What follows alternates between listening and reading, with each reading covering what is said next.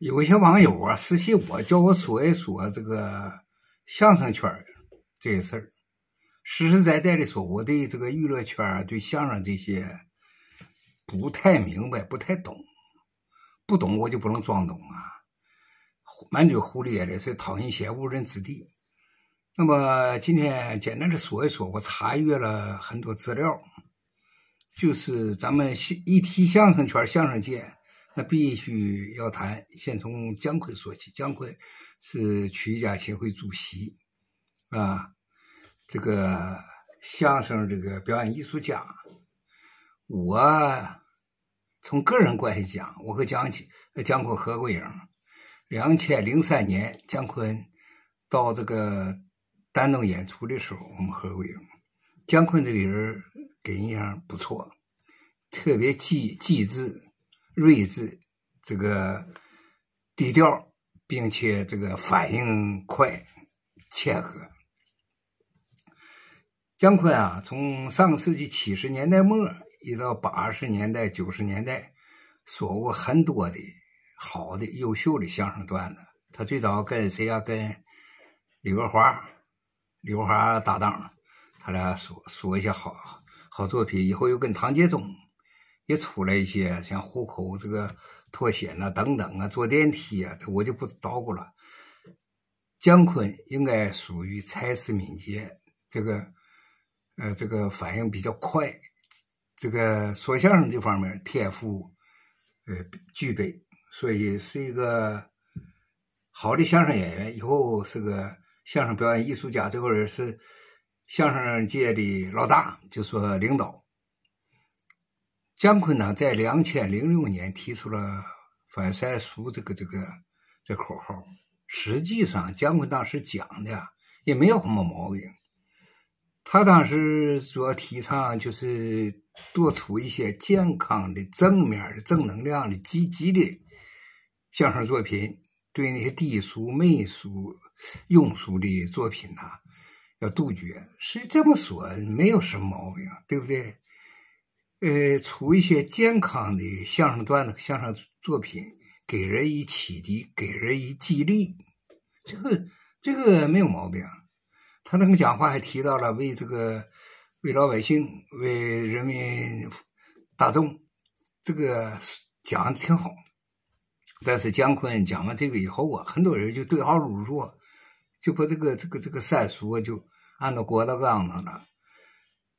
就说姜昆主要是指郭德，呃，这个反三俗主要反郭德纲啊，这样实际上这都是一些网友炒作或者民间弄的，叫我说就属于拉郎配，是吧？包办婚姻，就这个事儿，姜昆讲完了，这个事儿呢，以前就对号对到郭德纲了，以后呢，双方这个对这个事儿啊，也都暗中较劲儿，是吧？郭德纲也做了一些相声段子，还是讲了这个反三俗的。那说说完姜昆，咱们说郭德纲。郭德纲的人是很有本本分，很有天赋，在相声界来说后起之秀，以后也是扛大旗的人物。就相声界现在，就讲单个的人的水平能超过郭郭德纲的几乎就没有，是吧？当然还有些好的相声演员，也是很好很好的。呃，郭德纲啊，这个德云社呀，自谋职业创业啊，这个从天津到了北京站住脚了。后人郭德纲的演出啊，呃，票价很高，常常还爆满。应该说，郭德纲有本事，有有能力。郭德纲那个人才思敏捷，你看他呃这个主持些节目，反应特别迅速，是吧？机智灵呃灵敏，是吧？不愧为是。这个一代相声这个大师郭德纲就是大师，这个肯定是当之无愧。那么郭德纲和姜昆一提到淮山书，现在很多这个网民呢和老百姓啊都向着郭德纲，这不不呃不怎么向着姜昆，是吧？好像都是批评姜昆和对这个曲协呀，说曲协压制这个郭德纲，对这个事不满，怎么能出现这种情况？这个问题怎么能出现的？实际上和姜昆本人关系不是太大。姜昆作为体制内的这个曲协的领导啊，他呢为这个曲协和相声界做出了很大的贡呃这个贡献，做了很多工作，这个有目共睹，你得承认。这个姜昆这个人有能力、有水平，组织能力特别强，是吧？人缘也比较好。但是为什么后期他和郭德纲呢？他一比，他俩一比较，这老百姓都倾向于郭德纲而不像他呢？大伙没看出这里的关键问题，就是姜昆是一个团队的主帅，姜昆有本事，这个人品端正，是吧？业务能力强，但是姜昆有一帮子猪一样的队友，就这些队友。干出这些事儿，就给这个姜昆抹抹黑了，是吧？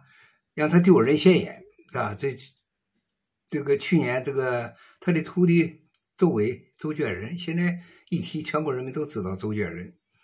这个网上骂人这个事儿，无论怎么说，周伟是姜昆的徒弟，这个徒弟有问题，这个当这个老师的你也逃逃脱不了责任，这不用说了，是吧？子不孝，这个父之过，这个《三字经》上都有。那么姜昆的搭档是吧？崇拜姜昆，呃，这个已经那个崇拜的无以复加这个程度。这个戴志诚，他拿姜昆当神。那么戴志诚，你应该学一学姜昆的好的作风、好的品质，这个呃业务能力啊，这你学学。结果说这些都没学，他干了什么事儿呢？就是。他呀和这个侯玉文他们是邻居，按照相声界的师承排辈呢，侯玉文是他师叔、三叔，啊，侯玉文和李伯祥是师兄弟儿，李伯祥是这个戴志诚的师傅，这样式的，这个戴志诚就管这个侯玉文叫四叔，这是相声界的排辈儿，是严严实实、牢牢邦邦的，你。你你就必须你要干相声，你就得这么排。结果侯玉文这个出门的时候叫这个戴志诚帮助照顾一些家里。